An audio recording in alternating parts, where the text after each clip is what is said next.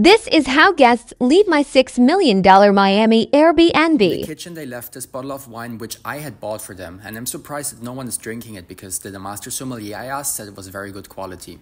Then there were a couple of dishes in the sink and this bag of groceries.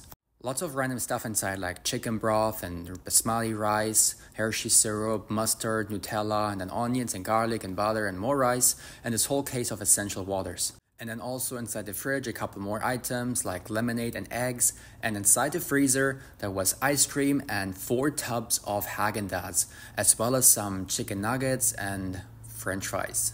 This is my pair of sunglasses, which I had thought I lost, but it seems like I just left it here, and fortunately, the guest did not take it away. All of the bedrooms were pretty clean. This guest left the day early too and didn't even use some of them. Outside the window, you can see that they bought a big Win 4 game for their children, and it looks like they had a maid to clean up after them. That's why everything was in such a good shape.